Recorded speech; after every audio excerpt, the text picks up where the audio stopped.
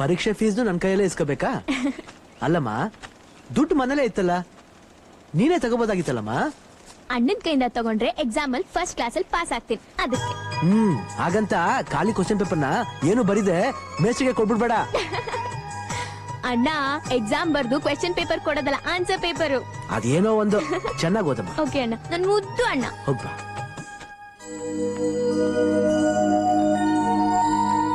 Wow!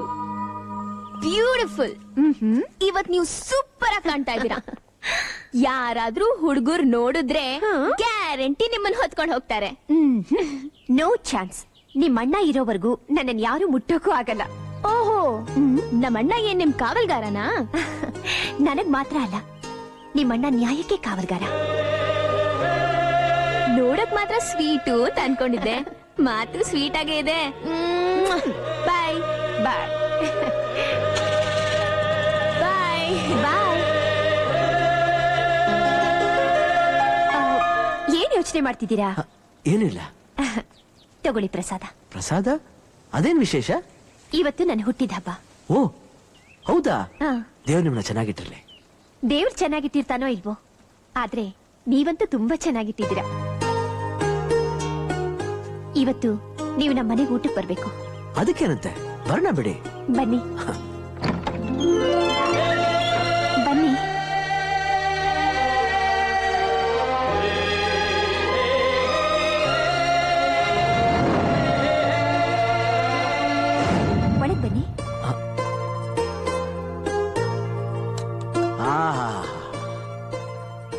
ಗಂಡ್ಮಕ್ಳಿರೋ ಹೊಲ ಚಂದ ಹೆಣ್ಮಕ್ಳಿರೋ ಮನೆ ಚಂದ ಅಂತ ನಿಮ್ಮನ್ನ ನೋಡೇ ಗಾದೆ ಬರ್ದಿರ್ಬೇಕು.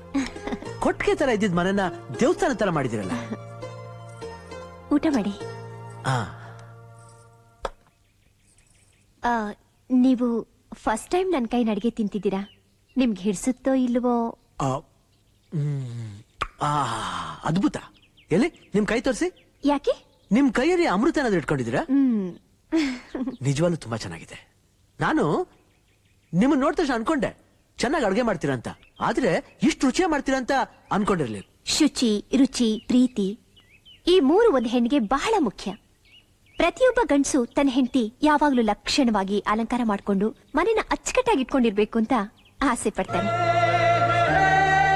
ದುಡಿದು ಹಸ್ತು ಮನೆಗೆ ಬಂದ ತಕ್ಷಣ ರುಚಿ ರುಚಿಯಾಗಿ ಅಡಿಗೆ ಮಾಡಿ ಹಾಕ್ಬೇಕು ಅಂತ ಅವ್ನು ನಿರೀಕ್ಷೆ ಮಾಡ್ತಾನೆ. ಸದಾ ನಗ್ನಗ್ತಾ ಪ್ರೀತಿಯಿಂದ ಮಾತಾಡ್ಬೇಕು ಅಂತ ಇಷ್ಟಪಡ್ತಾನೆ. ಹೆಣ್ಣು ಇದಿಷ್ಟನ್ನು ಕಲ್ತ್ಕೊಂಡ್ರೆ ಸಂಸಾರ ಸ್ವರ್ಗವಾಗಿರುತ್ತೆ ಅಂತ ನನ್ನ ನಂಬಿಕೆ. ನಿಜ. ನಿಮ್ ಮಾತ್ ನೂರಕ್ ನೂರು ನಿಜ.